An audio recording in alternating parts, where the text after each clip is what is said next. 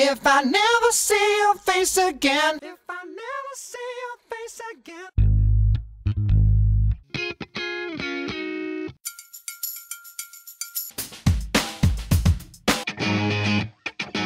Mm.